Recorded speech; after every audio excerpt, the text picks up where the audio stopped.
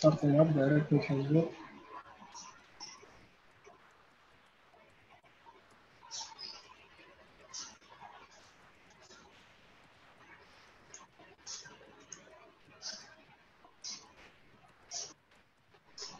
Are we live yet?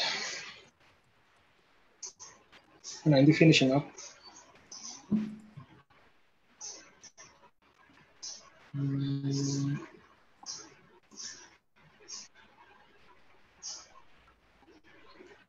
Live.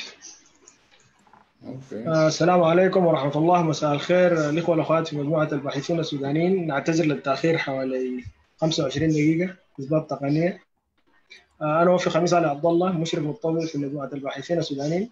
آه، اليوم إن شاء الله هنقدم أو دكتور أبو بكر هيقدم presentation عن التقلبات المناخية وتوقعات هطول الأمطار في السودان. دكتور أبو بكر خبير إقليمي في علوم المناخ بمركز آه، التوقعات وتطبيقات المناخ اي سي بي اي سي تابع للإيقاد واشتغل قبل كده في الهيئة العامة للارصاد الجوي عنده دكتوراه في الغلاف الجوي من جامعة ستوكهولم ماجستير كذلك في النمذجة الرياضية عنده اثنين دبلوم عالي.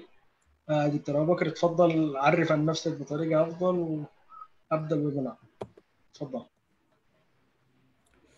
آه، مرحب مرحب آه، وافي. شكرا لك آه، أنت وللمجموعة بتاعت الباحثين. آه، آه، أنا أبو بكر أنا خريج كلية العلوم جامعة الخرطوم وشغال في المجال بتاع علوم المناخ وفي التنبؤات الجوية. وزي ما قال وافي كنت اشتغلت قبل كده في الفترة في فترة هنا مع الهيئة القومية للإرصاد. و still قاعدين يعني إحنا هنا مركز إقليمي هنا في نيروبي. المركز تابع لدول برضه بنتعاون مع الهيئة القومية للإرصاد ومع الهيئات القومية للإرصاد في الدول الثانية.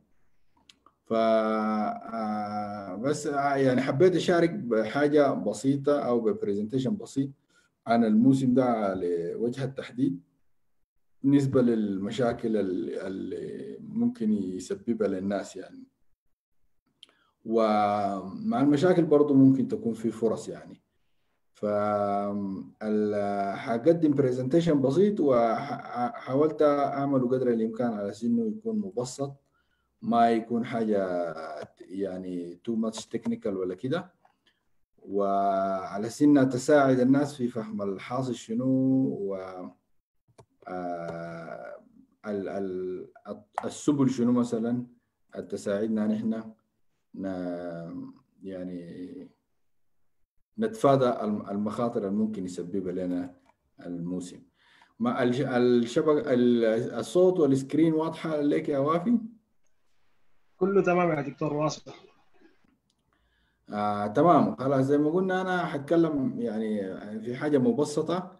آه، بالعربي مسميناها التقلبات الم- المناخية والتوقعات الج- حقت الأمطار للموسم ده. ف آه، حيكون presentation بسيط ومبسط يعني ما معقد للناس عشان ما الناس ما تنام يعني. فأول حاجة أبدأ بها أبدأ ب- بال- بالصورة اللي قدامكم دي ودي يعني إحنا اللي بنسميها ال climate system يعني مثلا بننظر للنظام المناخي للأرض كله على إنه system مكون من من آه، مركبات أو component يعني مكونات آه، عديدة والمكونات دي تتفاعل مع بعضها البعض بتأثر في بعضها البعض وبتتأثر ببعضها البعض. فمثلا هنا بتكون شايف ده مثلا ال- قول دل دل دل ده سطح الأرض بمكوناته المختلفة يعني. إذا كان السطح العادي أو السطح ال bare soil آه، أو السطح مثلا فوق topography زي جبال أو أو الجبال ذاتها يكون فوق جليد من فوق glaciers الجبال مثلا ممكن يكون فيها volcanic يعني activities مثلا يعني نشاط بركاني أو حاجة زي دي. فدي دي الحاجات الم... ال... ال... ال... في سطح الأرض مثلا. برضه الريفرز الأنهار ال... ال- الغابات. دي كل العناصر مثلا بتكون عندها تأثير على في في جزء من ال... الأرض. المكون الثاني بجانب ال- اللي هي ال- الأرض الجافة مثلا أو سطح الأرض اليابسة. عندنا شنو؟ المحيطات. والمحيطات برضه عندها دور كبير جدا جدا لأنه هي ذاتها بتغطي مساحة أكبر من من اليابسة يعني في الأرض في بالنسبة للكرة الأرضية كلها. مساحة المساحة المغطاة بالمحيطات أكبر كثير من المغطاة باليابسة. فالمحيطات عندها دور كبير برضه في التأثير على على المناخ. إذا كانت المحيطات مثلا في المناطق الاستوائية أو أو المحيطات المتجمدة في القطبين يعني فده ده ده المنظومة المناخية مثلا وكله زي ما قلت كله مكون من المكونات دي بيأثر وبيتأثر بما حوله. آه طيب أنا قلت المقدمة دي عشان أجي أدخل منها لموضوعنا اللي نتكلم عنه عن التقلبات المناخية. مناخ السودان بي بيتأثر بعدد من الظواهر منها مثلا أجزاء في الغلاف بالذات مثلا في الفترة زي دي من السنة يعني من جولاي أوغست وسبتمبر يعني من شهر سبعة وثمانية وتسعة. بيكون من الحاجات الأساسية المؤثرة هي الرياح اللي بنقول لها الرياح الجنوبية الغربية اللي هي الرياح بتجي من المنطقة الاستوائية من أوروبا وحتى من أجزاء من المحيط الأطلسي. وبتجي داخلة متقدمة شمالا وبتدفع الرياح اللي كانت جاية من الشمال الرياح الجافه جاية من الشمال تدفعها شمالا يعني. فده بنسميه الفاصل المداري أو نقطة التقاء الكتلتين الهوائيتين ديل. بنسميه الفاصل المداري على أساس إنه الرياح الجاية من الجنوب رياح رطبة ودائما بتكون محملة بالرطوبة وتدي فرص للأمطار وكده. فدي من الفيتشرز أو الحاجات الأساسية. بتسمع ناس الارصاد دائما بيتكلموا عن فاصل المداري فاصل المداري. اللي هو مثلا في في هنا دي في خلال الفترة دي هو ده الخط الأسود ده. بيمثل لنا مثلا النقطة المتوسطة بتاعت التقاء ال ال الرياح من أو دفع الرياح الجنوبية الغربية شمالا. في الفترة من سبتمبر أكتوبر شنو؟ الفاصل المداري ده بيرجع جنوبا يعني. بتدخل الرياح الشمالية تتعمق إلى الجزء الاستوائي من الجزء الاستوائي من أفريقيا. فدي الميزة ال feature الأساسية أو الملمح الأساسي. طيب بجانب ال ال بجانب ال الفاصل المداري السودان مناخه بيتاثر بالحاجات اللي بتحصل في المحيطات. ودي تحديدا منها مثلا جزء في المحيط الهادي ال Pacific. آه مثلا الحاجة اللي انت شايفينها قدامك دي دي الجزء بتاع المحيط الباسيفيك يعني المحيط الهادي ففيه مناطق محددة يعني العلماء حددوها على إنها عندها تأثيرات على المناخات في مناطق مختلفة. فمثلا من الجانب ده بتاع الساحل بتاع أمريكا الجنوبية ده في منطقتين بنقول لهم بنسميهم نينو 1 ونينو 2 نينو ولا نينا هي كلمات إسبانية يعني بس حاجة كده شنو سواها الصيادين. لأنه كانوا بيحسوا بالتغيرات والتقلبات اللي بتحصل في درجة الحرارة حقت المحيط. ففترة درجة الحرارة بتكون أبرد مثلا في المناطق دي الصيادين من بيرو تحديدا والمناطق دي. فكانت درجة الحرارة بتكون أبرد والدفع الرياح بيكون في الاتجاه ده ماشي ماشي غريب رياح ماشي غريب. فبترفع موية باردة من سطح المحيط. وبتكون يعني موية غنية بالمواد شنو تقولها غذائيه للسمك. فكانت بتكون فترة خصبة يعني فقاموا بسموها البيت اللي هي لانينا باللاتيني بالإسباني. ولما الفترة العكسها تكون الموية أسخن بتكون الظروف بتاعت هناك صعبة فسموها بيسموها النينو. النينو اللي هي بالإسبانيش يعني ولد. ميم حاجة زي دي يعني التسميات يا حقت التقليديه يعني من الخبرات التقليدية.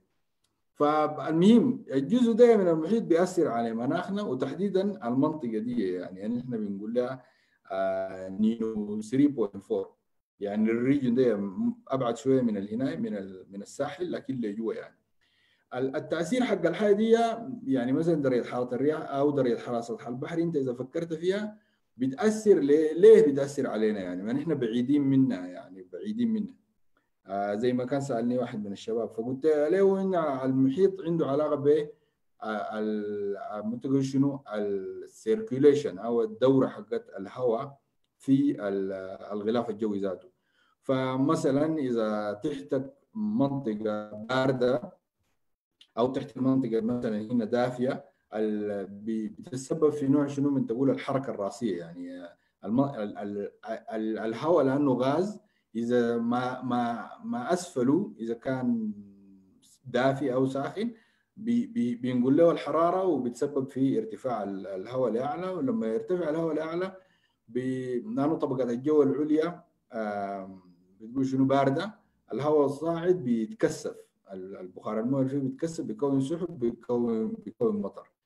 المهم خلاصة الموضوع في إنه ال ال الوضع وضع الموية أو سطح البحر إذا كان بارد أو ساخن بيأثر على تقول شنو الدورة حقت الهواء كليا. وعشان كده ممكن التأثيرات البعيدة اللي بتحصل حتى في بعيد مننا جغرافيا يكون عندها تأثيرات علينا يعني في في مناخ السودان مثلا. ده بيقول لي شنو زي تيليكونكشن يعني. فده السبب اللي بيخلي مثلا المنطقة البعيدة دي منطقة ال Pacific في شرق ال Pacific بتأثر علينا. طيب بتأثر علينا كيف؟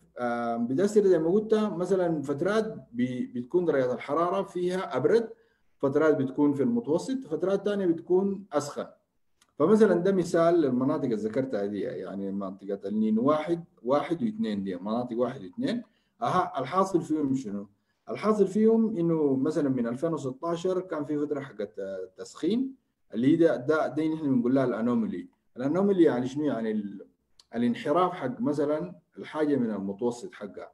مثلا إذا بنفكر في درجة حرارة سطح المحيط إذا درجة حرارة سطح المحيط الأنوميلي حقها والانحراف حقها من المتوسط كان موجب بنقول الفترة كانت حق التسخين. يعني الحرارة اليوم أزيد من المتوسط. عشان كده الفرق أو ال anomaly الفرق اللي هو من المتوسط positive موجب فمعناها أسخن من الفترة بتاعة الفترة ال normal يعني. ففي فترة زي دي مثلا بتكون فيها أسخن شديد جدا جدا ودي بنقول زي ما قلت الفترة حقت النينو وفي فترة بتكون فيها أبرد شديد منه بتكون فترة حقت لانينا فالتغيرات الزي دي اللي بتحصل دي بقت تاريخيا معروفة. لما يكون في النينو يعني في تسخين في درجة حرارة أزيد من المتوسط تحديدا في الجزء زي ما قلت النينو three ده اللي هو في وسط المحيط ال Pacific في وسط ال Pacific. ده لما يحصل فوقه يكون ساخن مطر السودان بيكون أقل بيكون في عندنا حاجة أقرب للجفاف. لما يبرد يعني درجه الحرارة تكون أقل من المتوسط بيجيب لنا مطر أعلى من المتوسط زي الحاصل هسه زي الوضع اللي نحن شايفينه حاليا. ده هسه الوضع الحالي. يعني ده الليلة مثلا آخر أسبوع أو الأسبوع الفات يعني. الغيمة دي اللي هي ماشية في ال minus ماشية في اتجاه برودة ودي اللي بتجيب لنا في العادة المطر الأعلى من المتوسط في السودان زي ما شايفين الوضع الحالي هسه. دي مثلا عشان أوريكم تاريخيا العلاقة ما بين المطر وما بين اللي قاعد يحصل في ال Pacific. ما الشكل اللي قدامكم ده الخط اللونه أزرق ده بيوري المطر حق السودان أواسط السودان. فمن خلال من سنة 80 لحد 2016 فالخط الأزرق بتشوف إنه زي المتعاكس مع الخط الأحمر اللي هو بيوري درجات الحرارة حق سطح المحيط.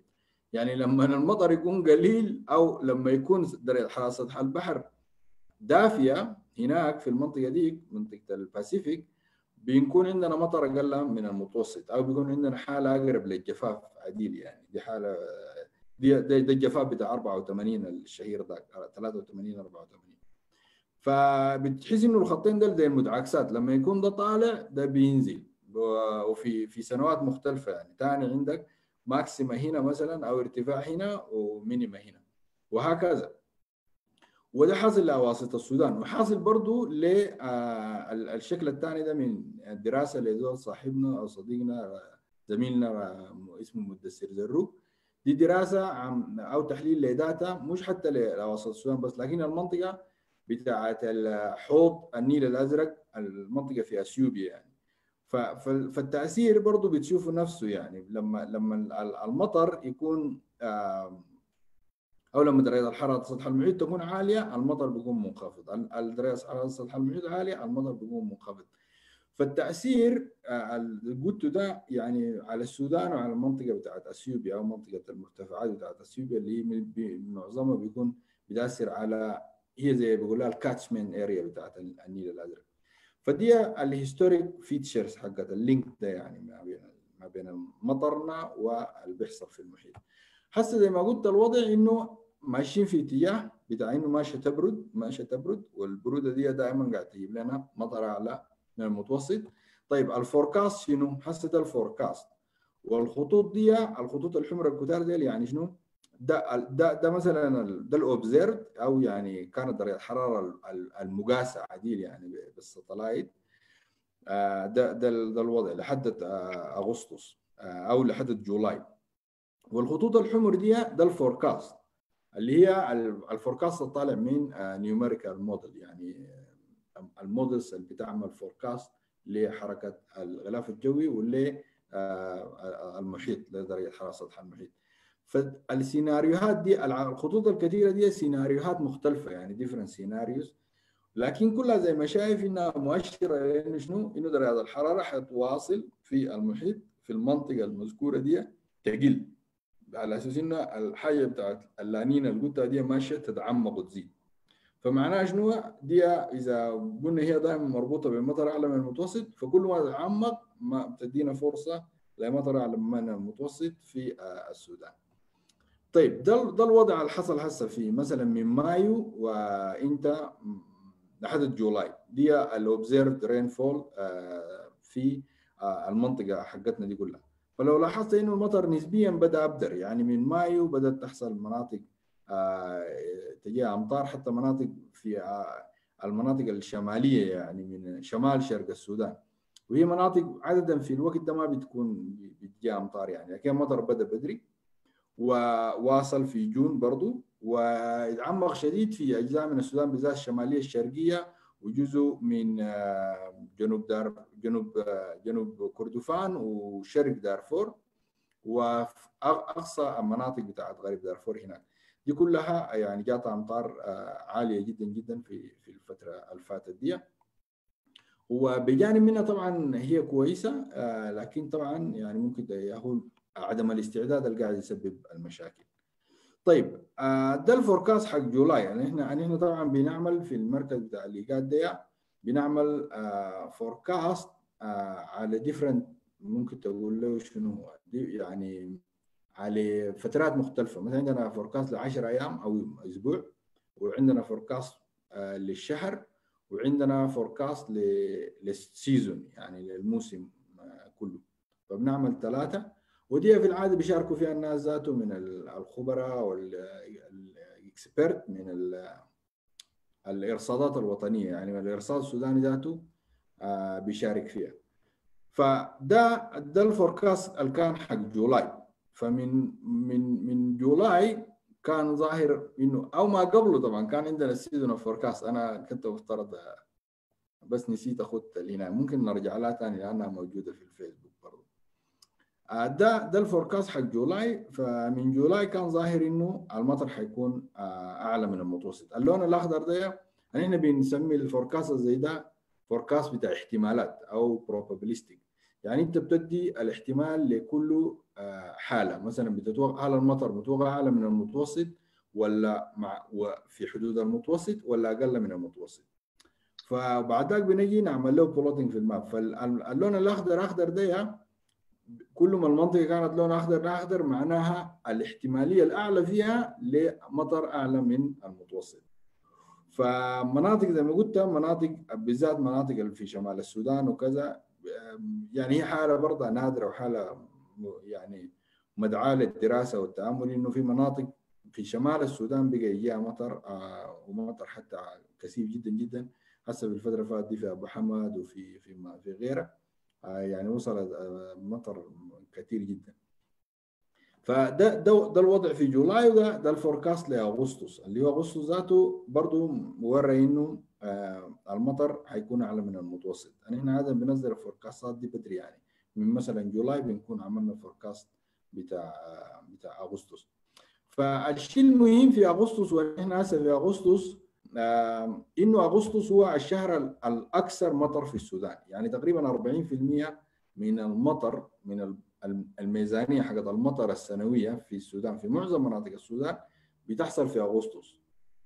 فانت عندك أصلا ده الشهر المطير أو يعني تاريخيا هو الشهر الأكثر مطر في السودان. وعندك الفوركاست بيقول لك إنه المطر حيكون أعلى من المتوسط. فدي حاجة يعني من بدري كان مفترض إنه الناس يعني ياخذوها بشكل جدي إنه يا أخي إذا أغسطس الشهر أعلى من المتوسط معناه في ضرورة لإجراءات احترازية تدعمه ده هسه الوضع الحاصل الليلة. دي من كبكابيه في دارفور. يعني برضه الأمطار سببت في دمار للبيوت ولممتلكات الأسر. دي في الخرطوم أنا لاقتني هسه قبل شوية إنه في بعض أحياء الخرطوم. في العيلفون دي قرية كاملة اولموست يعني غرقت عديد يعني والناس بقوا في بيوتهم اتكسرت واصيبوا إصابات يعني ضرر كبير جدا. طيب زي ما قلت إنه ال season ده حيكون أعلى مطره أعلى من المتوسط. كل المؤشرات بتؤشر للحاجة دي. ده ال forecast اللي أنا مثلا داير أختم به في كلامي. ده ال forecast من July لحد سبتمبر وتاني بيأكد الحاجة اللي تكلمت عنها إنه المناطق كلها السودان والمنطقة دي كلها واقعة في تنبؤاتها إنها مطر حيكون أعلى من من المتوسط ده ده قلت للفترة شنو من July لسبتمبر وزي ما قلت أغسطس already برضو July وأغسطس ال forecast اللي وريته قبل شوية بيأكد الحاجة دي وده يعني ضمنيا لأنه نحن لسه ما طلعنا ال forecast بتاع سبتمبر لكن ضمنيا بيقول إنه سبتمبر برضه حيكون شنو؟ يعني له مطره أعلى من المتوسط. لما أقول اعلى من المتوسط ما بالضرورة مثلا يعني أقول إنه مثلا سبتمبر ذاته حيسبب في فيضانات لكن ما بتستبعدها يعني. إذا المطر اعلى من المتوسط وزي ما قلت العنصر الأساسي المؤثر هو موضوع النينو ده وماشي في اتجاه اللانينا ف والفوركاست له برضه ماشي في اتجاه اللانينا إنها تتعمق. فالأفضل إنه الناس يعني تأخذ الموضوع بشكل جدي وتتحرك عليه. ما بعد سبتمبر برضو مرات في مناطق في السودان بي بي بيكون عندها مطر آه ما آه اللي هي ما الفترة ما بعد سبتمبر. آه معلش ال screen حقتي طشت شوية. خليني بس أرجع. من سبتمبر لحد نوفمبر برضه still المطر ظاهر إنه حيكون أعلى من المتوسط. والحاجة دي عندها علاقة برضه زي ما قلت بموضوع النينو لأنه اللانينا دي ذاتها أو اللي بيحصل في الباسيفيك ده إذا كان برودة أو تسخين بيصل القمة حقته في نهاية السنة. فيعني هي هسه حتواصل تتعمق تتعمق تبرد تبرد وبتصل ال peak حقتها في نهاية السنة وبعد ذاك بترجع ثاني لل normal. فمن غايته من المتوقع هسه إنه يعني المطر قد يواصل معنا بالدرع بأعلى من المتوسط ده لحد مثلا سبتمبر وأكتوبر. نوفمبر ما شهر مطير شديد في السودان ما ما منه خوف لكن إذا كان فيه مطر ممكن يأثر على الزراعة وعلى الحصاد أو كده فطيب دي ده, ده الوضع يعني. زي ما قلت الحاجة المؤثرة أو ال driving force اللي إحنا بنسميها في المناخ ده إن هي الموضوع بتاع العنينه ده في, في الغالب.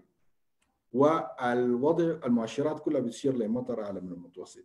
الدار أقوله في في يعني كتنبيه وأنا كان من قبل يعني من من من حتى جون في شهر ستة نبهت لأنه المطر حيكون أعلى من المتوسط هو كويس للزراعة لكن بيتطلب مثلا ممكن يتسبب في إنه في زراعة تخرب. الناس مثلا ممكن يتابعوا ويرجعوا يعني الناس زول زراعته شال السيل ولا شنو. بيحتاج يقوم باعمال بتاع الترقيع وحاجات زي دي هناك. الناس بتاعين الثروة الحيوانية والرعي يعني الموسم ده بالنسبة لهم إن شاء الله حيكون موسم ممتاز. إلا بس ما يخطوا بهايمهم في الخيران وكده عشان الموية ما تشيل لهم لكن يعني otherwise الموسم يعني مبشر ويكون عنده يعني بيكونوا مرتاحين. وكونه حيستمر بالمستوى ده لحد ما سبتمبر واكتوبر دي برضه نقطة إيجابية بالنسبة لهم. ناس الغابات آه والله ده برضه موسم ممتاز بالنسبة لهم بالذات إذا كانوا عندهم أي رغبة إنه يزرعوا غابات جديدة أو حياة زي دي. ده موسم ممتاز جدا جدا لأنه هسه أنت لو شتت أي آه حبوب أقول آه يعني شنو بذور حق أي شجر يعني مع مع مع الرطوبة وال اسمه شنو رطوبة التربة اللي حصلت هسه من الفترة فاتت من مايو ومستمره لحد اليوم دي ممكن تخلي لك تدي لك فرصة لإنه أي شجرة أو حاجة يواصل إنه يقدر يصمد يعني لحد السنة الجاية. وقطاع الصحة بيحتاج إنه يعني يكون جادي جدا الصحة وناس الكوارث ده برضه باقي الشهر ده لحد الفترة الجاية مفترض إنه يكونوا يعني عندهم مجهود جادي في اتجاه إنه شنو تدرع الكوارث. فدي النقاط يعني شنو الصمري من ال... يعني القطاعات اللي ممكن تتأثر أو تستفيد من المعلومات المناخية زي دي. فأنا بالحدد هنا ب... بقوم شنو أقوم أسكت شوية وأخلي الناس لو في زول عنده مداخلة أو أي زول عنده سؤال أو حاجة أو استفسار. شكرا جزيلا يا دكتور والله كلام جميل و ويعني عكس الواقع أو الشيء المفروض يتقال. في حوالي خمسة أشخاص معانا في جلسة الزوم. ما شايف. أنت خلصت الآن ولا بس وقفت عشان تشوف الأسئلة وتواصل لا أنا أنا أنا خلصت خلاص. أنا قلت عشان الحاجة تكون انتراكتيف عشان الناس يشاركوا بالأسئلة وكذا يعني ما تكون برأي يتكلم فإذا في سؤال ولا استفسار أنا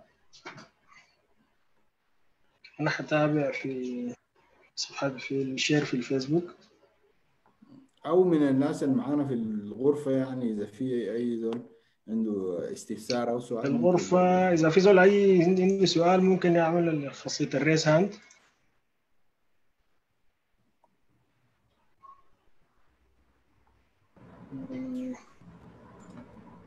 إلى الآن ما في زول رافع يده. دكتور أنور مرحبا. بك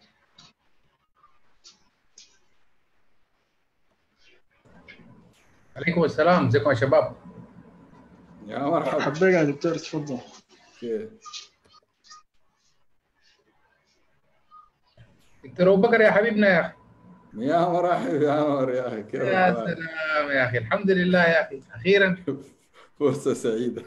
الله يسلمك يديك العافية. كيف أحوالكم؟ بخير والله الحمد لله. ماشي الحال الحمد لله. آه. وصلت وين في الويبينار؟ خلصنا يا دكتور. ممتاز. ممتاز جدا. آه. نتكلم عن هنا بس نديك ملخص شوية يعني عن الحاجات المسببة في أو المتحكمة في مناخ السودان الحياة اللي بتاثر عليه. تكلمنا عن الفاصل المدارب ذاك بيكون سمعت به من ناس الإرصاد اللي هو زي النقطة كده بتاعت التقال. أنا ممكن أوري حاجة إذا هنا. إذا في واحدة من الصفحات نعم. المفترض يكون آه ما أعرف السكرين لسه ظاهرة؟ ظاهرة هاي ما ال presentation ظاهرة screen عادية صح؟ لا ال عمل stop sharing يا دكتور وأرجع تاني. آه نعم. okay okay خلاص هعمل stop sharing من دي وأ share ثاني.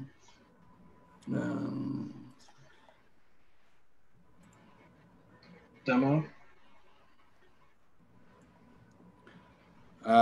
ده واحد من المواقع اللي نحن بنستخدمها مثلا مرات في آه، في يعني شنو في في النظر كده أو نشوف بها ال- ال dynamic الحاصل في في موضوع الغلاف الجوي شنو.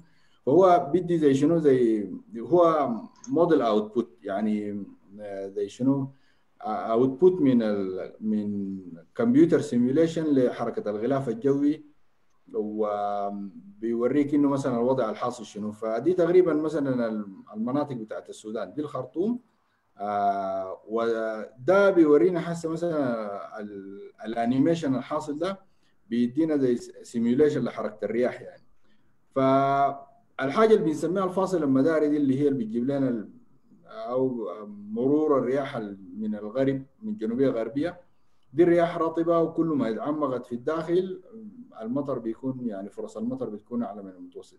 ففي العادة كان بيكون هنا يعني شمال الخرطوم كده يعني الفاصل المداري. لكن هسه أنت بتلاحظ إنه تقريبا الرياح الماء الطالعة من الجنوب دي متعمقة فوق يعني يعني تقريبا واصله قريب الحدود مع مصر. فيعني فاصل المداري تقريبا يعني هو واصل مع شنو في جنوب مصر يعني أو أو المدى اللي تعمقت له الرياح الجنوبية حدد حدود مصر يعني تقريبا. ودي الحاجة تقريبا حصلت بالضبط سنة 88 يعني السنة اللي كانت كارثية وجابت جابت مطر خرافي في السودان وتسبب برضه في الكارثة اللي هناك. برضه كانت نفس الوضع إنه دخلت تعمقت الرياح دي شمالا و أدت الفرص لهطول الأمطار أعلى يعني من المتوسط. وزي ما ذكرت بجانب موضوع الفاصل المداري في الحاجة اللي عندها علاقة بالحركة أو وضع الرياح في مش وضع الرياح معلش أقول اللي اسمه شنو درجات حرارة سطح المحيط.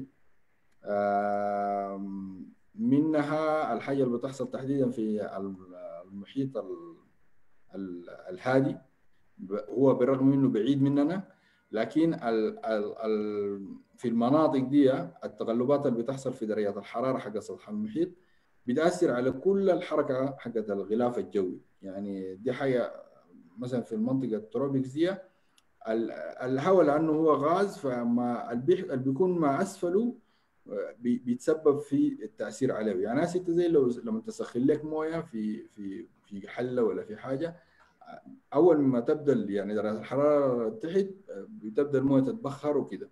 ففي الغلاف الجوي بتحصل نفس الحاجة. أول ما الموية أو المياه في المحيط تبدأ تسخن أكثر من من المعتاد بتسبب في vertical motion دي حركة تصاعدية للهواء ودي بتسبب في الأمطار لأنه كل ما الهواء طلع أعلى بيبدأ يتكثف لأنه الهواء أبرد فوق درجه الحرارة أبرد بيبدأ يتكثف وتتكون السحب وبتحصل الأمطار.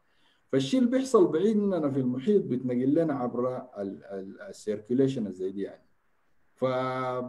فبرودة هسه الحاصل إنه درجة حرارة سطح المحيط تحديدا في المنطقة المهمة دي في أواسط المحيط الباسيفيك ماشية تبرد. وعادة تاريخيا لما تبرد بتتسبب في مطر أعلى من المتوسط.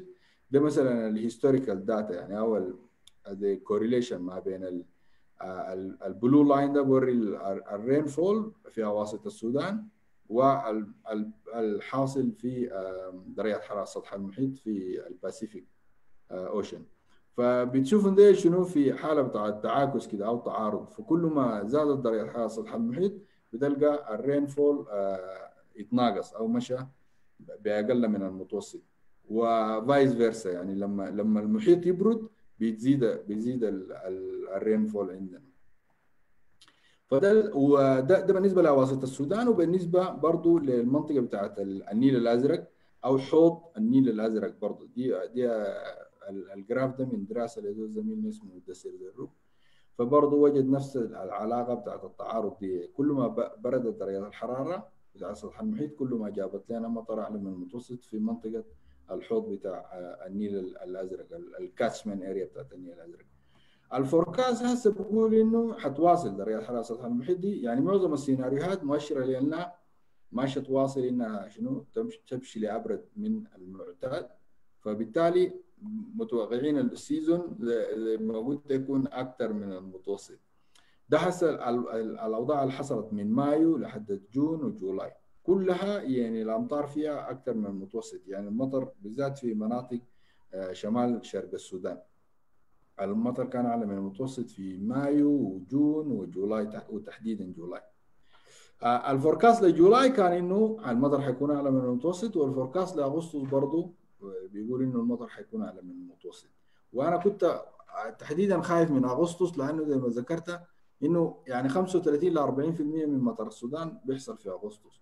فإذا إذا أصلا هو ده الشهر الأكثر مطر في السودان والفوركاست بيقول إنه المطر حقه حيكون أعلى من المتوسط. هو مؤشر يعني مفترض فوقه الإيجابي لكن فوقه مخاطر يعني. وزي ما قلت دي الحياة اللي حصلت هسه. في دي كبكابية الليلة ودي بعض أحياء الخرطوم اليوم ودي العيلفون برضه شنو؟ آه يعني في قرى يعني مساحتها الموية عديد آه ال forecast للفترة من July لحد آه سبتمبر حيكون أعلى من المتوسط وده بيأكد هو اللي حصل في July وفي آه أغسطس. ومؤشر برضه لأنه مطر مطر آه هنا ده حيكون سبتمبر برضه حيكون أعلى من المتوسط يعني very likely يعني. وما بعد سبتمبر برضو أو إذا أخذت من سبتمبر لنوفمبر الحاجة حتواصل حيكون نسبيا المطر عندنا. هو ما خطيرة لكن حيكون أعلى من المتوسط. ودي لأنه الظاهرة زي حاجة التبريد اللي أنا قلتها في في ال Pacific دي بتصل ال peak حقتها في نهاية السنة. يعني بتفضل تبرد تبرد تبرد لحد ما اقصى درجه برودة في بتكون في ديسمبر كده تقريبا يعني. بعد ذاك ترجع ثاني غالبا للنورمال حقها.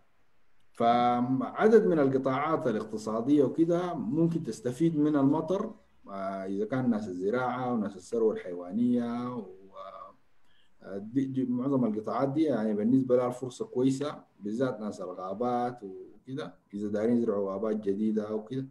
فدول كلهم في فرص لهم كويسة. لكن درع الكوارث إذا كان ناس الشؤون الإنسانية أو إذا كان ناس الدفاع المدني إذا كان ناس العمل الشعبي ناس نفير من الأفضل إنه يجهزوا نفسهم يعني لأنه ممكن مع باقي الشهر ده يكون يعني مطره برضه اعلى من المتوسط وممكن يسبب في مشاكل. فدي الخلاصة حقت الكلام اللي أنا كنت بقول فيه طيب هل الكلام ده له علاقة بال باللي هو climate change في العالم كله ولا؟ والله ما بت... لا ما ما ضروره ما بالضرورة. دي مثلا دورة مناخية. الحاجة اللي بتحصل في المحيط دي بتحصل كل زي سبعة سنة.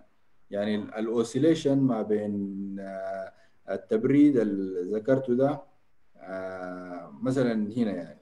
يعني دي مثلا دي 2016 جانيوري 2016 كانت كانت شنو؟ يعني في تسخين شديد جدا جدا. كانت في ظاهرة العكس اللي هي عكس الوضع الحالي كانت درجه الحرارة ال anomalies كانت شنو؟ positive فكان المحيط كان أسخن من الوضع الحالي أو الوضع المتوسط بكثير يعني almost وصل يعني about 2.3 أو حاجة زي دي. increase بتاع درجه حرارة سطح المحيط عن المتوسط. فهي بتحصل لها oscillation زي كل سبعة سنة كده يعني الدورة دي من تسخين وبتجي نازلة مثلا بترجع في neutral وبعد ذاك بتنزل شوية وكده. يعني دي دي دي دورة مناخية عادية. ال climate change العالمي ده تأثيره ما ما ما بنقدر نربطه بايدي يعني. افتكر ان دي دورة يا من الدورات المناخيه القصيرة دي. لكن ذاك تأثيره أكثر في درجات الحرارة. ذاك ممكن نجي نتكلم عنه في هنا أنا عندي data ممكن نجي نتكلم عنه.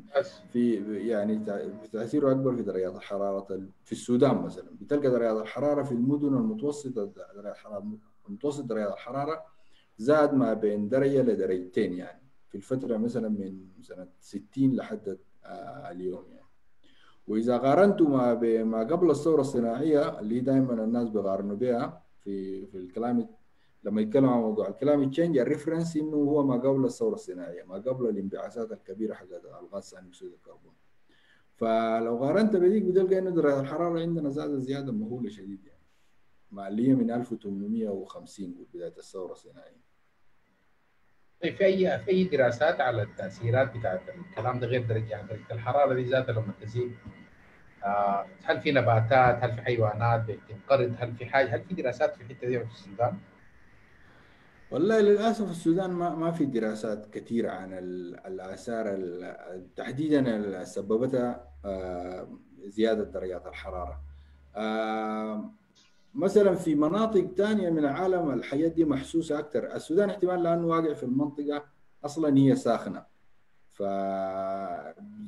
فالزيادات أو التأثيرات الكبيرة اللي جات عليه في مناخه ممكن تكون اسبابها مثلا نقول قطع الاشجار الحاجات زي دي. دي عندها أثر كبير جدا جدا على السودان. لأنه يعني كان في غابات لحدت في حول الخرطوم هنا يعني. الغابات كانت موجودة. فإزالة الغابات وازاله الغطاء النباتي دي الحاجات ممكن تكون تاثيرها كبير جدا جدا على في في الحياة في السودان. لكن في مدن مثلا زي نيروبي دي أنا هسه في نيروبي الفترة دي لو درجات الحرارة لما تزيد مثلا طوالي بتلقى البعوضة مربوطة بدرجات الحرارة لأنه هي مدينة باردة. فأول ما درجه الحرارة مثلا تزيد أربع خمس درجات كده مع الصيف أو كده مثلا طوال بتلقى البواعوض الأمراض الحاجات زي دي بدأت تظهر مع لكن السودان نسبيا لأنه مناخه اوريدي هو يعني في الإيدج كده حار. طيب آه، باشمهندس أبو القاسم. أبو القاسم تفضل. السلام عليكم. آه، تحية لك يا دكتور بكري. بكري الدفعة. فرصة سعيدة. دفع بالله. كويس والله. هاي كيف الحال؟ والله يا أخي محاضرة جميلة أشكرك عليها وفعلا ذكرت حاجة نحن كنا بننبه فيها من بداية ال- السيزون لكن طبعا وضع البلد ما ضابط والناس ما استعدت وفعلا حصلت كوارث. آه أنا بالنسبة لنا ناس ناس الشمالية ديل آه، شايف إنه بعد كده لازم يعتادوا على على المطر يعني. آه، قبل كده كان عم في analysis كده بتاع الترند بيوريك إنه في زيادة في ال rainfall في السنين الأخيرة في المنطقة بتاعتهم.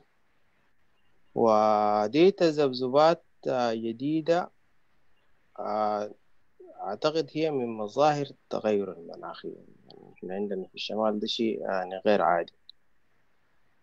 آه، تاني حاجة ال- ال- المطر لما يجي في المناطق آه، زي دي آه، بتتضرر مناطق الجنوب.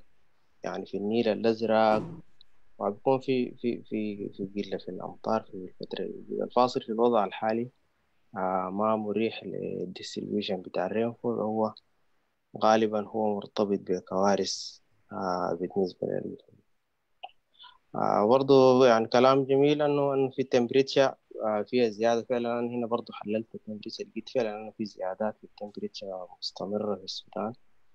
بتأثر على الزراعة في محاصيل القمح ومراحل النمو بتاعت القمح دائما مرتبطة بال temperature. في مراحل ما بتتحمل درجة الحرارة ولاحظت إنه في زيادة في ال temperature بشكل واضح في أغلب المناطق يعني أو كلها تقريبا. يعني وداير إنك تدينا آه، اذا متابعتكم للايجاد في في في ال distribution بتاع ال rain هو في السودان لحد الآن. يعني إحنا شايفين الغرق وشايفين السيول لكن التوزيع هل التوزيع زي جيد بالنسبة للزراعة ولا لا؟ وشكرا جزيلا.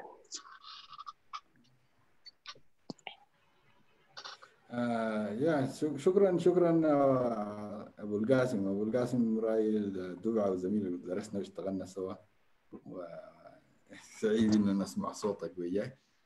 آه صحيح ال- المناطق بتاعت الشمالية دي صح يعني منطقة بقت فوق, فوق في شيء حاصل.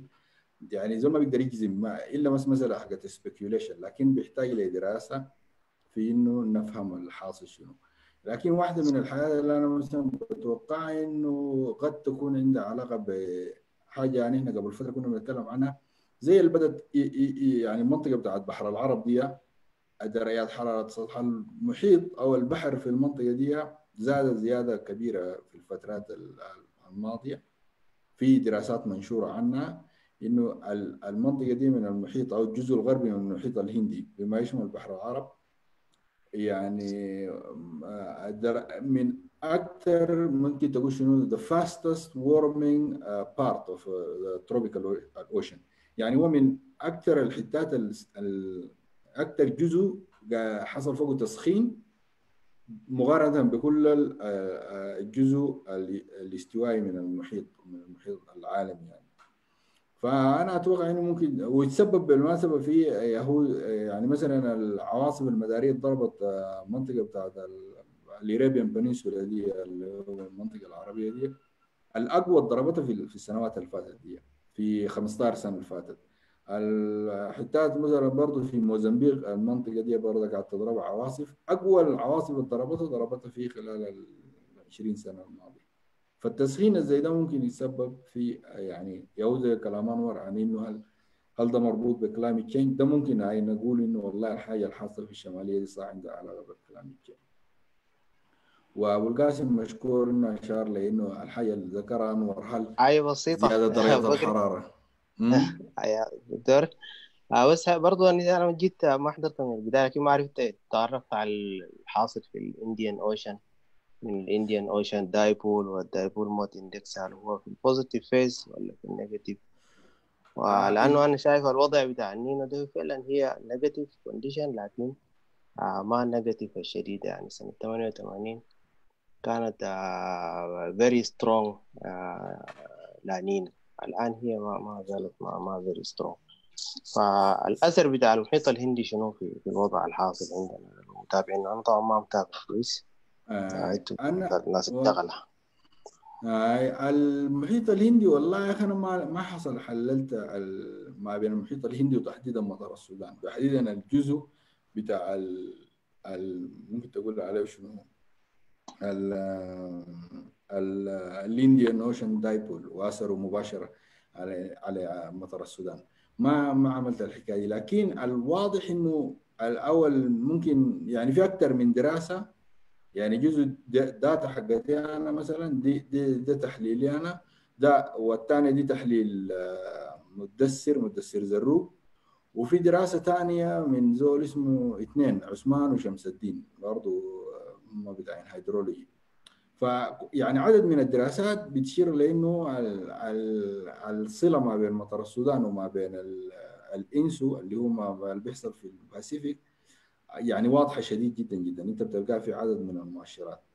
وعشان كده أنا مثلا تخميني إنه ال signal الأقوى هي ممكن تكون من ال من ال ال Pacific لأنها بتأثر على كل ال circulation زي ده يعني كل ال atmospheric circulation يعني بتعمل disturbance في كل ال cycles الكبيرة حقت ال convection zones دي.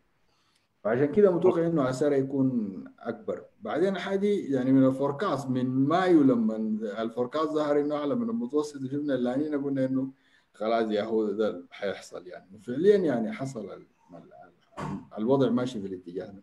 لكن كده ممكن نرجع لموضوع ال Indian Ocean لكن نشوف إنه علاقته بمطر اواسط السودان شنو علاقته هو- بالمطر حصل في الشمال. تمام. هو it happens إنه في بعض المرات إنه ال situation يكون يعني La Niña هناك وبيكون عندنا مطر بسيط يعني. فالمسألة very tricky و complex. يعني في الحتة دي. مم. فناس في ناس بيقولوا إنه المحيط الهندي لأنه هو أقرب للسودان وكده. لكن أنا قاعد ملاحظتي وتحليلي لل data. أي strong La Niña definitely you have wet condition over Sudan. لكن ال weak وال moderate آه الشغلة هي بتكون آه برضو فيها أثر من ناحية الأريبيان المونسون مونسون الإنديان مونسون والفلو بتاعه هو مهم شديد بالنسبة لي. دي ملاحظة بس أنا يعني حسب تعاملي مع ال season في السنين اللي فاتت. آه، ال Indian monsoon الأيام دي برضه very strong شايف في باكستان في غو- غورة كاملة غرقت يعني بسبب في, ال- في الأسابيع اللي فاتت ف نعم تمام أي فبرضه very strong طب الكلام ده لو لو كان له علاقة بال بال climate change في النشاط الصناعي وانبعاثات ثاني اكسيد الكربون نزلت كثير جدا بسبب الإغلاق بتاع كوفيد 19 حركة الطيران وكل الحاجات اللي بتعمل ال emissions دي. وقفت الكلام ده ما عنده أي تأثير في دراسة في الموضوع ده. ال- الحاجة زي دي ما ما بتعمل تأثير كبير لأنه أنت عارف يعني هسه مثلا ال... يعني ما ما بتعمل تأثير مش قصدي لأنه هي حاجة حصلت هسه recently التسخين. أي. قدام. أي يعني اثرها ممكن يظهر لقدام شوية يعني. لكن لانها حصلت هسه وبعدين ثاني اكسيد الكربون زاد زيادة. يعني هسه ما قبل الثورة الصناعية كان يعني 280 part في كل مليون. يعني كل مليون إذا أخذت كل مليون جزيء من الهواء وبتلقى منها مثلا 280 جزيء بتاع ثاني اكسيد الكربون هسه في الوضع الراهن ده وصلوا 410 يعني زيادة تقريبا قريبة 40% يعني عرفتها؟ ف already يعني الناس زادوا زيادة كبيرة بتاعت ثاني اكسيد الكربون في الغلاف الجوي. فحتى لو اثرها ظهر ما إحنا أما الوقفة زي دي ما بتعمل حاجة كبيرة. وفي؟ يمكن يمكن لاحقا آه. يمكن لاحقا. تفضل. تمام. آه كلام جميل يا دكتور. والله مادة دسمة أنت ودفعتك آه القاسم.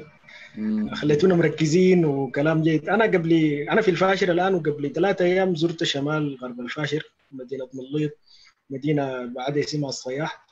أهالي المنطقة بيقولوا إنه خريف ال- ال- العام ده بالذات يعني زي ما قلت أنت في كتاباتك اللي كتبتها بذكرهم ب ب 88 مم. آه، خليني أقتبس من أحد الشعراء بيقول إنه يعني بوصف الخريف بيقول في شرعك الإنسان يموت لو زادت الموية ويموت من قلتها ده الحاصل في السودان وفي دارفور بصورة عامة منطقة شمال دارفور هي جافة نسبيا أو شبه صحراوية ال ال ال ال التقارير اللي بتجهزوها أنتم في مركز الإيجاد أو في مركز الاي سي بي اي سي وكجهه إيجاد جهة انتر جفرمنتال يعني إحنا حكومتنا في السودان دورها شنو؟ شايفك قبل كتبت في صفحتك إنه ما في زول سمع لكلامك يعني ال- الحاصل شنو؟ في لسه في ال gap بين ال scientists وبين ال decision makers رأيك شنو في الكلام ده, ده أنت تعقيب لكلامك ده والله يا أخي آه، أنا أفتكر إنه جزء منه ذاته اظنه جزء منه طبعا يا هو زمان طبعا كنا بنشكي من الكيزان. بنقول والله الكيزان ديل يعني ما طبعا ما يعني عايزين إنه ذاته. موضوع إنه يعملوا حاجة دي ما هم ما دي ما شغلتهم. يعني ما شايفين إنه عندهم أي مسؤولية تجاه الناس. هسه جات الحكومة الجديدة حقت الثورة وكنا يعني متوقعين إن الحياة تكون أحسن يعني لكن برضه الوضع هناك. فجزء منه يعني لسه نحن مسؤولين ديل محتاجين تدريب وجزء منه المسألة حقت الثقافة. أنا شايفها كده. يعني إحنا الناس ثقافتنا زي شنو؟ ثقافة التوكل دي. يعني الكارثة دي كان ما ضربت عديل ما في زول ما بيتحرك يعني مبكرة إنه مثلا يعني يحط طيرة أو حاجة زي دي. لو انت لقيتك كله يعني في شعوب كثيرة مثلا للناس تحديدا اللي عاشوا برا السودان في شعوب بياخذوا الحياة دي بشكل جدي. يعني لو قلت لهم إنه والله في مطر أعلى من المتوسط شنو؟ طوالي بيبدوا يتحركوا يعني الناس بيعملوا بيتحركوا في الاتجاه إنه يعملوا حاجات يعني. يعني مثلا لو عشت في أوروبا مثلا بتلقى إنه عندهم زمن ثابت بالذات شمال أوروبا المناطق الباردة دي بيبدوا بيبدوا يكشحوا رملة كده ولا شنو وحصحاص في الشوارع. الحاجة دي ثابته الملح مثلا بيعملوها. التلج. أي بيعملوها أقول في شهر 10 أو شنو. عندهم لها تاريخ ثابت كده. بيعملوها بيعملوها. ما ما يعني ما هناك. بعدها عند نهايه الهنا بيجوا عديل يقشوا الشوارع ينظفوها من الملح والحجار الميكس ده يعني. فنحن لسه شو يعني شوية كده الحياة بتاعت التحضير البدري والحياة دي هي ذات التربيه صار- دار الناس يتربوا عليها يعني. والحياة تكون شوية مخططة وكده. فلو لو الحاجة دي ما حصلت ما بنتوقع إنه مثلا مزول. يعني حتى لما تبلغون المعلومة في يدهم ما تتوقع إنه تحصل حاجة شديدة يعني. فمشكلة طيب ده يعني ده مش معناها إنه. يفترض إنه يكون في مجتمع مدني فاعل لو أصلا الحكومة نحن خلاص اكدنا إنه ما ما حتتحرك التحرك اللي إحنا المفروض نعمله. يعني النفير دي ما تجي تتحرك. نحن طبعا كنا جزء من نفير 2013 وشايف الشباب ناس غاز الريح وكده يعني فعلوها هسه الأيام دي وعملوا اجتماع وكلام زي ده. نفير ما تبقى نفير تبقى يعني pre نفير وبعدين نفير. يعني يكون في planning قبل الموضوع والناس كلها خلاص إحنا كشعب طالما حنغرق حنغرق خلينا نغرق بشرف زي ما بيقولوا. نبدأ نجهز نفسنا من بدري مراكبنا وحاجاتنا وكده. ولا شنو؟ صحيح صحيح. بالضبط. الله يقول لك حاجة يعني حتى إذا بتحركنا بدري ما بنغرق ذاته. يعني وبالعكس ممكن الشيء ذاته نحوله يعني نحوله لنعمة يعني. بدل ما يبقى نقمه الناس تحوله لنعمة. المطر نحن عندنا فصل واحد في السنة فكله ممكن نقدر نستفيد منه. لكن بس دار تخطيط ودار إنه الناس يبدوا يبقوا برو اكتف يعني أيوه يا دكتور. مم. نحن طبعا بنحب المبادرات جدا في مبادره الباحثين السودانيين وطوال أي متحدث عندنا هنا ده عنده خميره كده بتاعت مبادرة طوال بنلتقطها وبنحاول نعمل بها مبادرة. الجبل نخلي زي ما نقرأ على الوقفات ان إحنا هسه دي نجهز من هسه للخريف الجاي. يعني الخريف ده الناس غرقت غرقت قبل الخريف الجاي الكولز اللي بتعملها. إنه يا اخواننا الناس تعمل حسابها لأنه الفاصل المداري شكله كده اتجاه الريح إلى آخره. من الوقت اللي بتبدأ تعمل فيه الكورس نبدا نجهز يعني كلنا كده ده يعني تبقى مبادرة الخريف الجاي قبل الخريف الجاي ما يجي. ما نستنى. آه إنه والله نغرق وبعدين نجي نقول والله إحنا ما كلمناكم ولا كده. رأيك شنو؟ جدا والله. أنا ما عندي أي مشكلة مستعد. يعني حتى قبل فترة أنا عرضت على الناس من الجروب واحد في group الشباب ده group جميل كده بتاع الزراعه السوداني. أيوه. إنه أنا أشارك معاهم بال forecast. قلت لهم أنا بجيب لكم ال forecast. آه كل مرة وممكن آه يعني بنشره لكم. بس خدوني عشان ما آه يعني خدوني معاكم ك admin ولا شنو؟ عشان أجي لما ننشره أعمل له approve ويمشي طوالي بدل ما يتاخر أسبوع يكون already المطر جو الموضوع. فات يعني. دي حاجة طبعا أي زول باحث ولا بتاع عندنا في الباحثين السودانيين اللي جابوا يعني ما بتحتاج إنه ال post بتاعك يتوقف لأنه بنفعل الخاصية بتاعت ال post pre-approvals وفي وفي من ال moderators اللي ممكن يعملوا لك العملية دي. تمام جدا جدا. أنا ممكن أشارك جدا والله. تمام. طيب طيب آه، صديق آه، رافع يرسل أيوه. مرحبا. شكرا أنور. عرف نفسك الله يديك العافية. صديقي الشريف آه، أنا water resource engineer واتكلم هنا من دبلن ايرلند آه، بحيي دكتور أبو بكر بحيي الجميع آه، على المجهود ده. و very informative lecture آه، excellent آه، وبرضه آه، في يعني ال forecast دائما كل الناس اللي بيعملوا ال forecast. أنا شخصيا اشتغلت في مجال ال forecast آه، لبعض الوقت يعني في إثيوبيا كجزء من مبادرة حوض النيل المكتب الشرقي. فبرضه كنا بنعتمد آه، في المقام الأول على ال آه، على ال ENSO هو ال هو يعني اعتمدنا على ورقة كان عملها بروفيسور الفاتح الطاهر في التسعينات. آه، هي طبعا المسألة دي established من بدري من من قبل بروفيسور الفاتح. يعني الاعتماد على ال SSTs والقرايات في ال Pacific وال SST ذاتها عندها كم zone. وال zone اللي عنده correlation قوي بين بحوض النيل.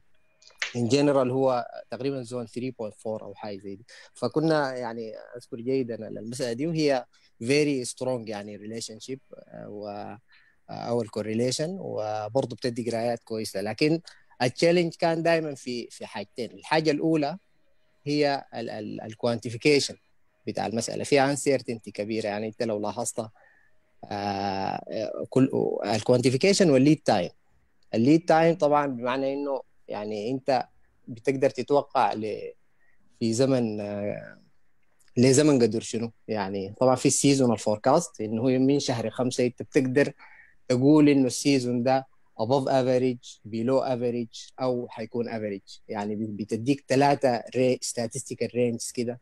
أنت بتقول آه، على هذا الأساس بي يعني بتدي indication لكن بتبقى المسألة بس في ال quantification وفي ال وفي ال ال short lead time forecast يعني أنت لو داير آه، ل- للأسبوع الجاي مثلا فبتبقى ال tools مختلفة شوية. انت محتاج تستخدم tools ثانية لمعرفة ال ال الكمية بالضبط. لأنه انت هسه لو داير مثلا الري ال rain-fed agriculture هو محتاج information مختلفة شوية من ال information ال broad اللي ممكن نتكلم عنها بمعنى إنها هي above average أو below average. محتاجين نعرف تقريبا كم ملي كم ملي متر حتنزل خلال الثلاثة أربعة يوم الجايات فإحنا كنا بنعمل كم level من ال forecast يعني اللي هو seasonal forecast مسمينه seasonal وهنا برضو ناس الإرصاد في السودان برضو بالمناسبة بيعملوا المسألة دي لكن بس ما منتشرة في في إطار واسع يعني. وبيستخدموا نفس ال tools يعني أنا الحاجة اللي لاحظتها وحتى إحنا كنا في أثيوبيا ال- الأثيوبيين برضو بيستخدموا نفس ال tools دي اللي, اللي أنت تكلمت اتفضلت دكتور أبو بكر. فدي حاجة. الحاجة الثانية فيما يخص ال rainfall هسه ال forecast بتاعك لشهر 8 بيوري إنه في يعني definitely is going to be a rainfall في ال في ال north السودان وال north السودان حتة ال rainfall very very يعني في scarcity شديدة في ال rainfall بحيث إنه ال event دي لو حصلت حتكون هي 1 in 30 years مثلا. أو 1 in 50 years أو حاجة زي يعني بيكون very high frequency. ده بيعني شنو؟ بيعني إنه ما في resilience لل flood في المناطق ديك. يعني أنا كنت جزء من من واحدة من ال missions تبع ال World Bank في سنة 2013 بنقدر نحاول نقدر كمية ال damage اللي حصل للقرى واللي حصل لها damage يعني كان ال impact devastating يعني.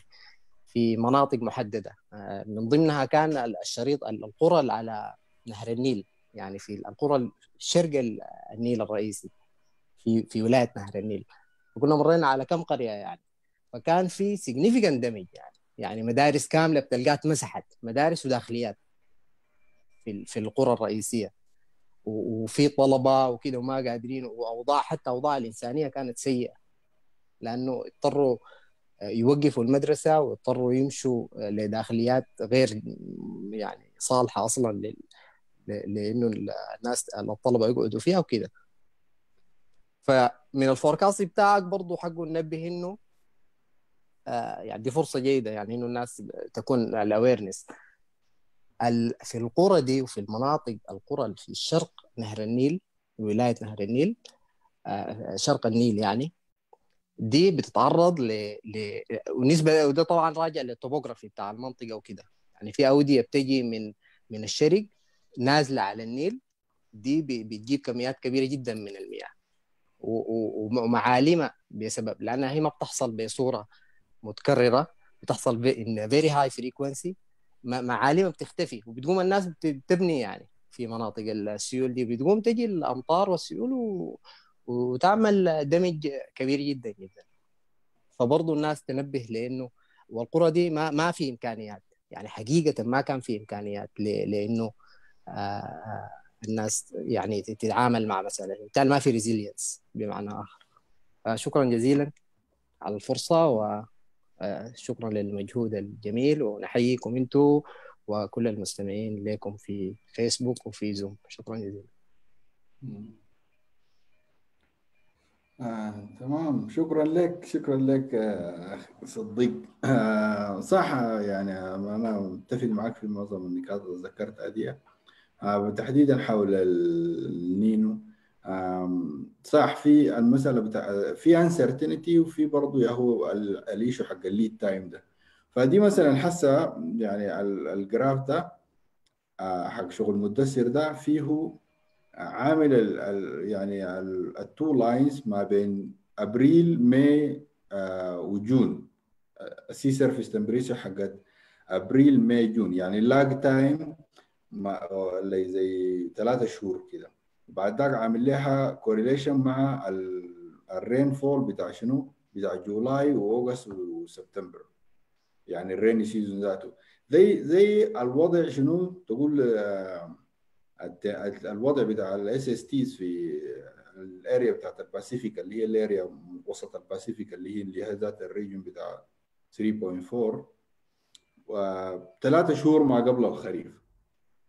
آه والحاجة دي عندها علاقة بشنو؟ زي بيقول بيقول لها ال memory يعني ال system عنده زي اللي عنده ذاكرة كده. يعني إنه ال ال ال الوضع بالذات المحيط. المحيط لأنه سعته الحرارية أكبر من الموية سعتها الحرارية أكبر من الغازات زي الهواء وكده فاستجابتها ذاتها للتسخين بطيئة. يعني أنت مثلا مثلا آه لما لما يبدأ الصيف آه الصيف مثلا لما تيجي الشمس مارة فوق المحيط المنطقة حقت المحيط بتصل درجة حرارتها أقصى درجة حرارة في نهاية الصيف. لأنه بيكون accumulating الحرارة accumulating الحرارة لأنه الموية سعتها الحرارية عالية. فبتبقى شنو؟ يعني ال sensitivity للحرارة بتكون متأخرة شوية. فعشان كده هم عملوا شنو؟ ال correlation ما بين يعني شنو زي في lag time أو فترة شنو؟ تشوف إنه ما قبل الخريف كيف بتأثر على فترة الخريف. فالدراسات زي دي بتديك indicator لإنه تعرف العلاقات أو الفترات الأنسب اللي أنت ممكن تستخدمها كمؤشر لل forecast يعني. الشمالية صح والله بقت فيها موضوع يعني محتاج يجد لدراسة وأنا شايف إنه الشباب إذا بالذات إذا في ناس مثلا من الشباب عنده الرغبة نحن وجود الدراسات عموما بتاعت الغلاف الجوي والعلوم دي شوية ما منتشرة في السودان. فأنا بشجع إنه الشباب ممكن يعني كان ذكرت الانور إنه أنا ممكن دكتور انور ممكن أتكلم يوم عن في حاجة زي دي إنه كيف أنا لأنه قريت علوم يعني. والحاجة دي برضه زمان ما الناس عندهم تصور إنه العلوم ذاتها بيعملوا بها شنو اللهم بتقرأ كده لحد ما تنتهي. بعد ذاك تمشي تفتش تشتغل شنو. فممكن ندي الشباب بدري أفكار إنه يا أخي ممكن تشتغلوا في الدراسات زي دي يعني. تشيل المعارف ال- العلوم البيزك تطبقها في تطبيقات زي دي يعني. إذا كان في الغلاف الجوي أو في إذا كان في علوم المياه وشنو. فدي ممكن تكون فرصة إنه نشرك طلاب جداد معنا يعملوا بحوث. كلام جميل والله مبادرة سمحة يا دكتور. ما بقاطع على كلامك لكن أنا آه، خلال بحثي عن أو تفتيشي آه، أستضيفك لقيت لك آه، مقالتين شيقات جدا. الأولى بتتكلم عن الجراد الصحراوي تقريبا. أنت ومعاك team بحثي. والثانية التقرير أنا لقيته في الموقع بتاعكم بتاع الإيقاد كده لو سمحت لي توقف ال share أنا أ share الصفحة هنا بيتكلم عن ال- التوقع بمجاعة في منطقة القرن الأفريقي بالذات. مم. حوالي 20% تقريبا. يعني توقع خطير جدا. إنه حتحصل مجاعة حوالي 20 مليون شخص في منطقة القرن الأفريقي. ممكن يكونوا تحت تأثير المجاعة. في الفترة دي صفحتكم بتاعت اليوتيوب تقريبا القناة بتاعتكم. فيها كان عندكم كونفرنس في شهر ستة تقريبا. تابعت جزء كبير جزء منه. عندكم تقارير كثيرة. أكثر شيء لفتني ال- ال- ال- ال- ال server room بتاعكم. آه انت شغال في المركز ده احتماليه إنه يكون عندنا مركز مماثل في السودان. يعني من حقنا نحلم زي ما بقول. المواصفات بتاعت ال server بتاعتكم وال data اللي أنتم بت- بتنتجوها وطريقة ال- ال data gathering والشغل الكبير اللي قاعدين به احتماليه إنه يكون عندنا أو يكون في تعاون بين جامعات أو جهات حكومية في السودان. زي ما أنت هسه قلت ممكن الطلاب تنورهم إنه يشتغلوا في المجال. ده. عاوز تعليقك على الكلام.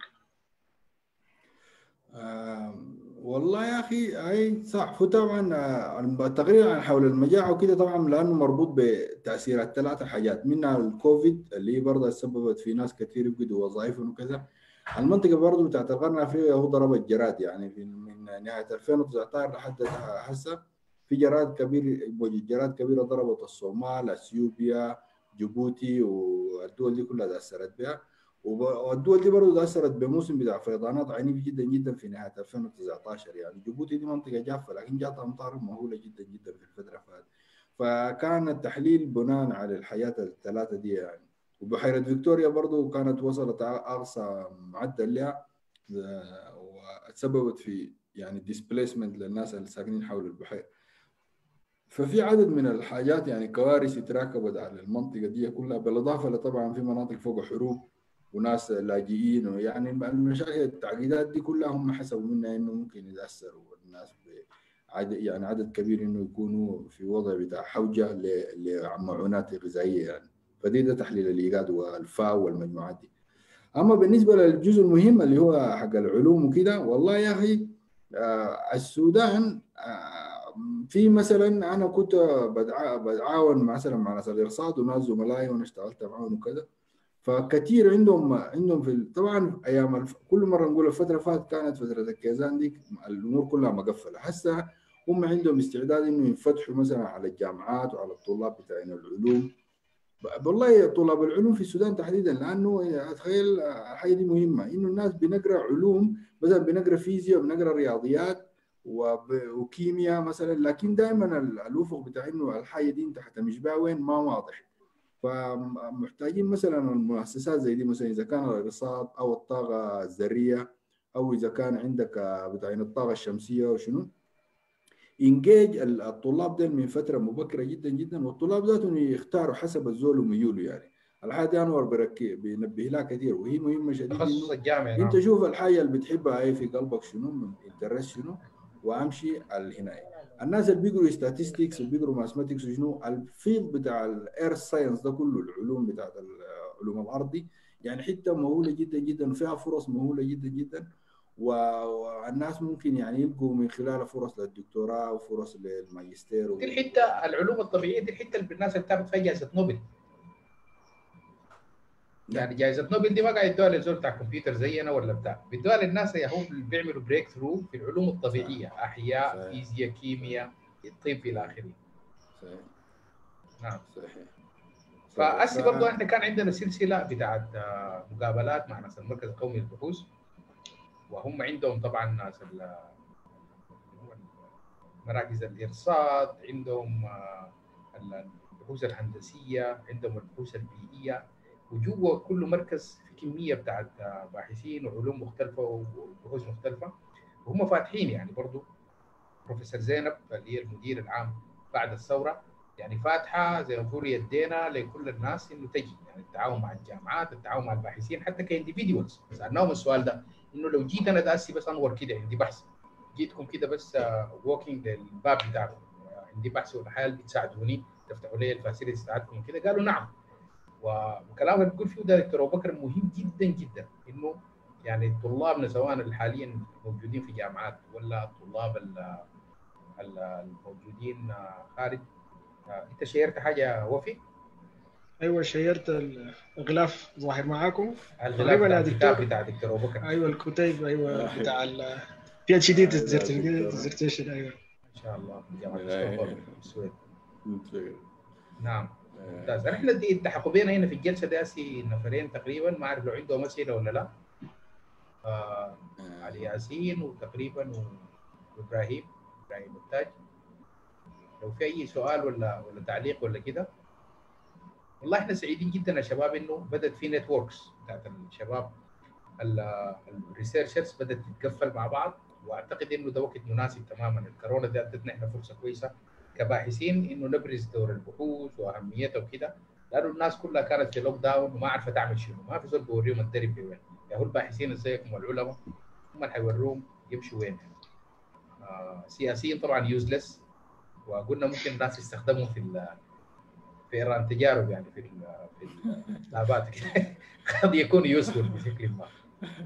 هل في أي سؤال ولا حاجة يا شباب في الجلسه هنا ولا في هنا. في دكتور عبد الرحمن كرار أنا بتذكر قبل فترة بسيطة كان بيسأل من قصة الهطول الأمطار وال ال hydrodynamic تقريبا بتاعه. فعملت له tag كان بيشاهد في الجلسه أيوه أيوه. في فيسبوك ما أعرف برضه لو عنده سؤال. وفي أي سؤال ولا أي تعقيب يا شباب؟ في الفيسبوك ما في سؤال. في تساؤل تقريبا كتبه الدكتور ياسين جبال لكن تقريبا دونيا نرد عليه دكتور ابو بكر طيب في أبو القاسم مرة ثانية. أبو القاسم تفضل آه، السلام عليكم. آه، بداكم مرة تانية بس في طرأت حاجات في ال- في الجلسة يعني حبيت أعقب عليها شوية. آه، وافي ده كان سأل سؤال عن أنه إمكانية السودان أنه يعمل له مركز زي بتاع الإيجاد. يعني والله وافي عندنا حاجات ما, ما عارفين يعني نستخدمها كويس. هل تعلم أن السودان ده فيه HPC يعني من الدول القليلة في القارة فيها HPC high computational power ثاني يعني اسرع حتى ثاني أسرع, أسرع. كمبيوتر في أفريقيا. ثاني Yes. بعد جنوب أفريقيا. أيوه. بيعمل يعني إحنا حاولنا 30 ولا 40 teraflop per second بالضبط كده. وإحنا كان حاولنا مع الإيجاد ذاته يستفيد من ال HPC ده لكن كان في مشكلة في أنه قالوا في ال software في عقوبات أمريكية عليهم ما قادرين يعملوا update لل system وكده فشلنا نحن كإرصاد نستفيد من التقنية بتاعته يعني نهائيا يعني ما أعرف الحكاية دي ممكن تبقى كده. ف... بروفيسور شريف حاليا هو مدير مدينه افريقيا التكنولوجية بتتبع لها المشروع ودكتور م. الوليد أحمد عدلان أبو سين هو هو الزول اللي in charge طوالي في ال HPC اللي هو اسمه حكيم. يا أهم حاجة إنه الناس تحاول تستفيد لأن دي حاجة ما ما سهلة. ساوث أفريقيا مستفيدة من الوضع ده تماما واتطورت آه الحاجة الثانية في في في في ال modeling قبل تكلمت عن ال lead time ال lead time بالمناسبة very critical بالنسبة لأي توقع. أنا لاحظت إنه من خلال متابعتي للتوقعات بتاعت الإيجاد وحقاتنا في الإرصاد لو توقعت قبل فترة عشان تدي مهلة للمزارعين أن يستعدوا للموسم حتلقى أنه في مشكلة في ال forecast. فنحن ال lead time بتاعنا دائما بيكون ال forecast بيكون بس مع بداية ال- season يعني. مثلا نحن بندي في مايو بندي forecast ل June July August September. يعني for scientific reasons يعني. حتى الآن العالم كله آه، بيعاني من المشاكل الموجودة في ال forecast دي. وده حبيت أقول لمداخلتي الأخيرة وشكرا كتير. أنت أبو القاسم بس معلش التذكير لل- للناس أنت بتعمل PhD تقريبا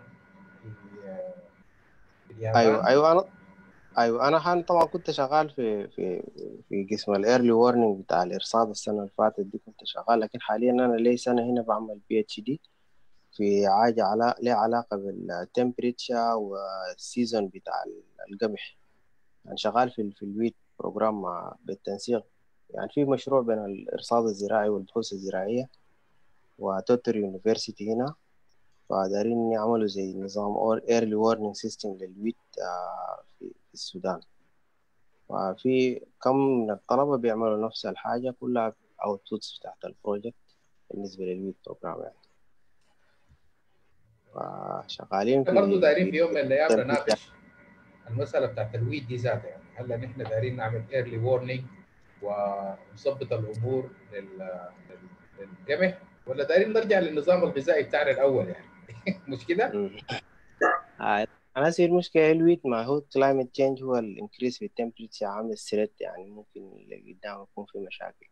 السودان محتاج يعمل new varieties ولا يقوم آه بيقوم يزرع في مناطق جديدة بطرق جديدة ففي في challenges حقيقية حتحصل للسودان نتيجة للتغير المناخي. ده, ده كلام كويس يعني إنه الناس واعية بالكلام ده وممكن تناقشوا في سلسلة بتاعت webinar ات وتطلع recommendations ونحاول ندفع بها لإنه تحصل إن شاء الله في بلدنا. شكرا جزيلا لك.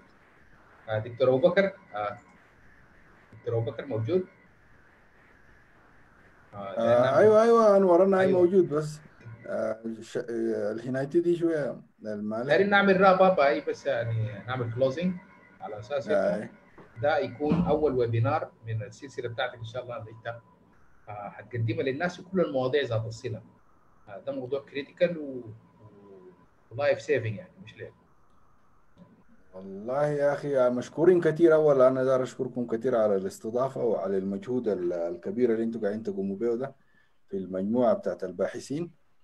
وأنا اتحركت شوية من محلتي آه المهم آه زي ما قلت والله الحاجة دي مهمة شديدة أنا بجد زي ما ذكرت لك قبل كده وقدرها شديد لأنه حسيت إنه في الفترة اللي فاتت دي إنه اهتمامنا الكثير بالسياسة كلنا ادينا فيها زمن طويل جدا جدا.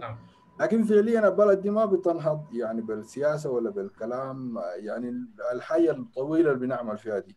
المساله بتاعت المساله بتاعت التقنية دي يعني أنا أفتكر إنها هي دي المستقبل بجد. يعني أنت إذا طالب ولا أنت إذا باحث ما بي ما تعلمت ال tools حقت العصر الحديث اللي معانا هسه بتاع ال computing يعني إذا أنت فنان الليلة محتاج تستخدم الكمبيوتر. إذا أنت باحث بتحتاج تستخدم different computing tools وما إلى ذلك. فدي بقت الايشو الأساسي. فالمجهود اللي أنتم بتقدموه في المجال ده مجهود كبير جدا جدا. اتمنى إنه الناس يستفيدوا منه. وأنا مستعد إنه لقدام أشارك مثلا بسمينار إذا كان عن التغير المناخي أو إذا كان أو لطلاب العلوم.